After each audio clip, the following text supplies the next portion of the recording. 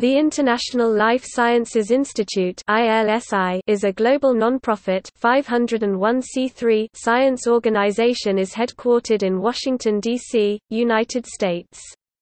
It was founded in 1978 by Alex Malaspina, a former Coca-Cola executive, and it is financed by companies such as Coca-Cola, Nestlé, McDonald's and Pepsi.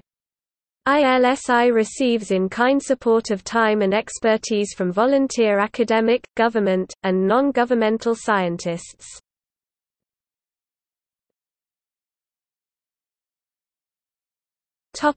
Structure It is a member organization whose members are primarily food and beverage, agricultural, chemical, and pharmaceutical companies. According to its 2018 annual report, 74.5% of its 2017 revenue came from member support, 16.3% from grants and contributions, and the balance from publications, conference registration, and other sources. ILSI is a global organization with 16 branches that operate at the global, regional, or country-specific level. These include ILSI Argentina, ILSI Brazil, ILSI Europe, ILSI Focal Point in China, ILSI India, ILSI Japan, ILSI Korea, ILSI Mesoamerica, ILSI Middle East, ILSI Mexico, ILSI North America, ILSI North Andean, ILSI South Africa, ILSI South Andean, ILSI Southeast Asia region, and ILSI Taiwan. It also includes the ILSI Research Foundation, which, unlike the branches, does not have members.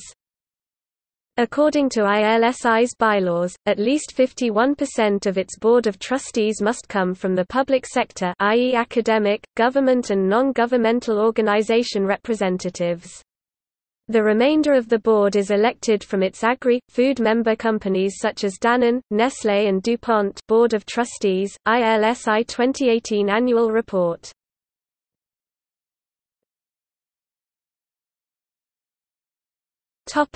Mission and science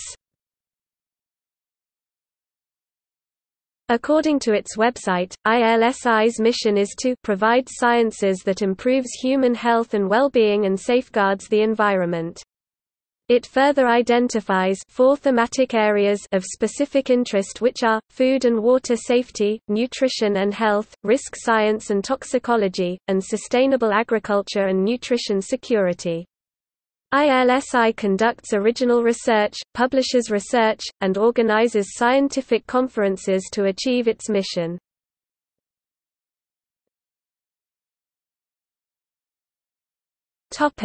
Tobacco controversy A 2001 editorial in the British Medical Journal claimed ILSI received money from tobacco industry from 1983 to 1998. ILSI denies accusations that it has ever sought to undermine tobacco control efforts. In a letter to the American Journal of Public Health, ILSI responded to these allegations by saying that there is little question that the tobacco industry has engaged in a variety of tactics to thwart public health efforts.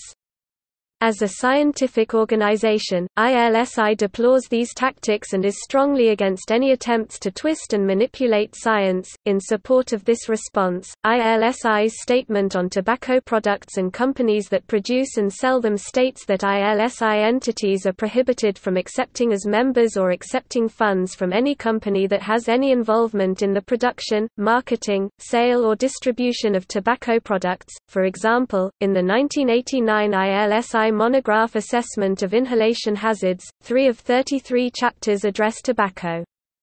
Two of those papers show unequivocally that second-hand smoke has adverse effects on respiratory infection and lung function, especially in children and that epidemiological data show a statistically significant increase in lung cancer risk of about 40% for non-smokers married to smokers.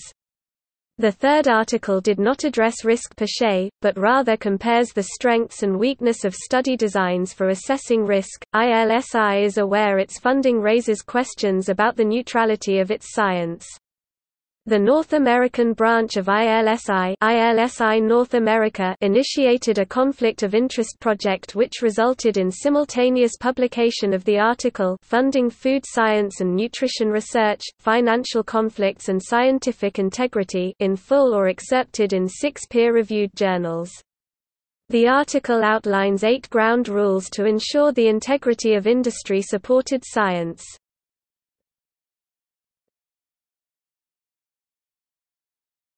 Topic: Nutrition controversy. It has been a strategy of Coca-Cola to found and to fund a scientific institution that gives ostensibly independent advice. Nutritionist Barry Popkin says that in China ILSI had an extremely harmful influence, because they prevented raising awareness for a healthy diet.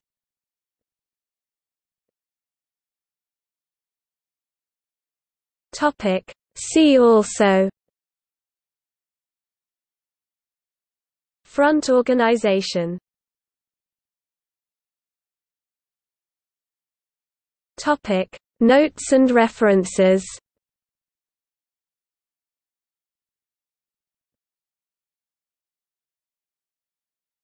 Topic. External links. Homepage Chinese homepage